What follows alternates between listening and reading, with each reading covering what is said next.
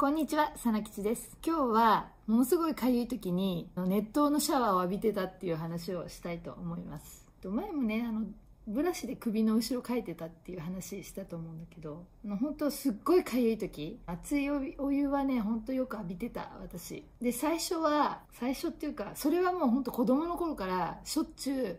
熱いシャワーっていうのを浴びてたんだよね。脱して始めた頃はすっごい痒かったから熱いシャワーも浴びてたけどよくね保冷剤で冷やしてたわけ。首の後ろとかさ痒いところに保冷剤当てて。でもなんか冷やしてると逆にその後が痒いっていうかさ冷やしてる時はいいんだけど取った後シャキッとしないっていうかさそれで結局余計痒くなっちゃったりしたことが結構あったからだからもう途中から一切冷やすのはやめたの。冷え取りも始めたりしたから。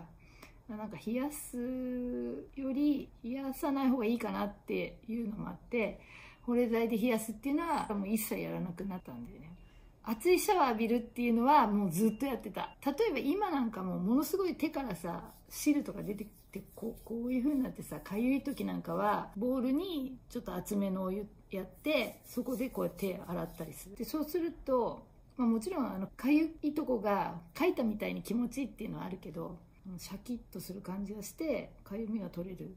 からもう一回私は洗っちゃう。手とかね熱いお湯で。まあでもこれは本当もう何自己責任でっていう世界だよね。皮脂取れちゃうしまあでもいろんな人いると思うけどまあ少なくとも私の場合は今こういう感じになってるからね。散々熱いシャワー浴びてきたけどこういうねブラシとかでガリガリしたりしてたけどだから皮膚ってすごいなって思う。皮膚の再生能力とかさ脱捨てと脱保湿だけじゃなくてもうほんと食事はすごい徹底したからそれもこう皮膚の再生にこう力を貸してくれてたっていうのはすごい大きいと思うんだけどで今ほんとひどい人ねたくさんいると思うけど人間の体を侮ってはいけないっていうかさ本当なんか適切な方向に行けたら体ってすごい期待に応えようとしてくれるっていうかさ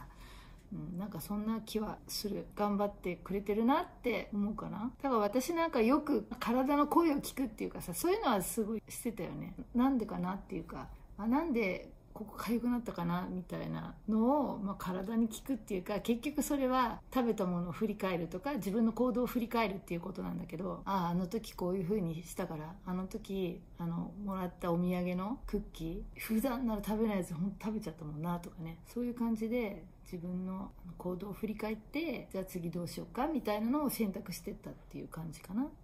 そう。だからあの熱いお湯。アトピーさん禁断の熱湯シャワーみたいなあるそれは私はもう浴びまくってました。夫が少しアトピーみたいになった時も教えてあげたもん。すっごい熱いシャワーねやるとねいいよって。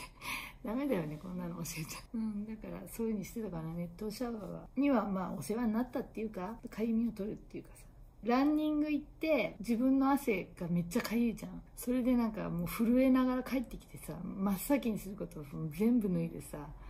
お風呂入ってシャワーで熱いお湯も全身に浴びるとかしょっちゅうしてた。まあそれでも肌は再生するんだなっていうふうに今は思ってます。今日は以上です。私のチャンネルではアトピーさんとかアレルギーさんとか食べ物を変えて体に優しい生活をしたいなっていう人の参考になるような動画をアップしています。もし少しでもいいなって思うところがあったらよかったらチャンネル登録よろしくお願いします。あと LIKE ボタンポチッと押して応援してもらうとすごい嬉しいです。今日も最後まで見てくださってありがとうございました。さなきちでした。